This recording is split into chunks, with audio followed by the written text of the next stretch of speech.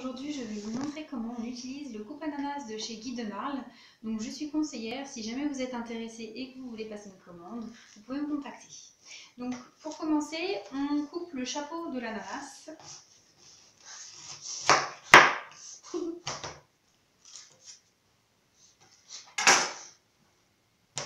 Donc ensuite, on place le coupe ananas qui ressemble à ça sur le haut de l'ananas on appuie bien. Et après, on a simplement à euh, tourner la manivelle, donc euh, enfin la, la, poignée. Et ça va couper donc l'ananas.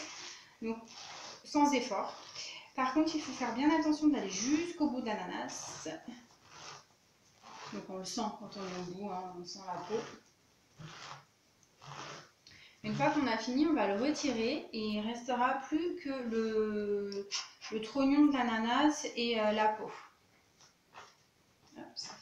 Ventouse. Voilà.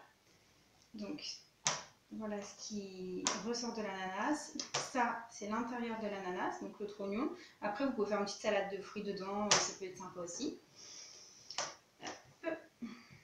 Donc ensuite, il suffit simplement d'appuyer sur les deux petits boutons qui sont là, de retirer la poignée et de faire basculer.